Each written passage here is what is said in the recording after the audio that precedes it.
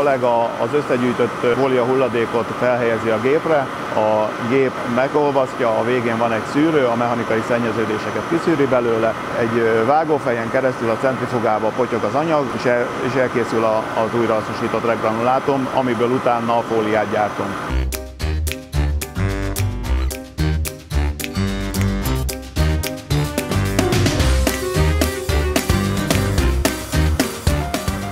Azt a pici granulátumot a, a végén a, a garatba feltöltjük. A laikusoknak legegyszerűbb úgy elmondani, szinte mint egy húsdarálónak a, a csigája.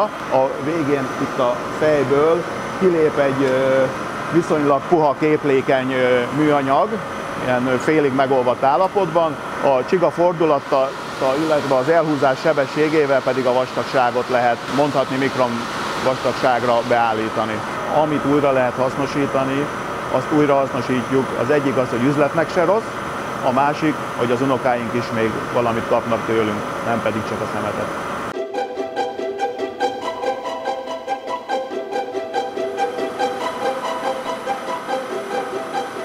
Rányomtattuk azt a fóliára, amit ugye a megrendelő kért, ezt a bizonyos mosolygó zsákos nyomatot. Összességében most ez a rendelés a háromszínű zsákból olyan 800 kg környékén van, ez egy olyan 8-10 ezer darab zsák a három méretből összesen. Súlyban egy 20 kilót biztosan elbír.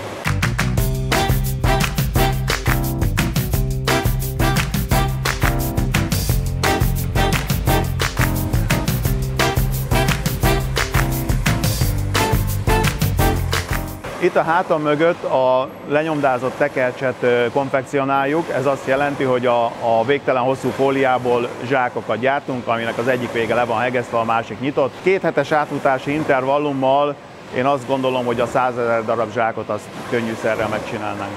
Úgyhogy mehetnek nyugodtan szemetet gyűjteni.